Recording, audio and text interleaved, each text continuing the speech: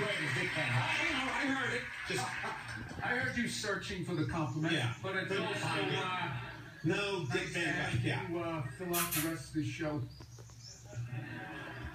You just flew in from New York, is that right? Yes, I did, and it was actually warmer there than it is here.